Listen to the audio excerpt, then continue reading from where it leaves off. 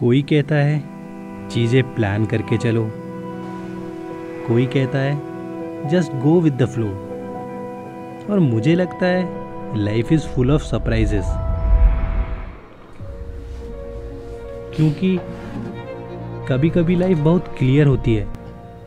तुम्हारे पास एक गोल होता है, एक डायरेक्शन होती है, एक एम होता है।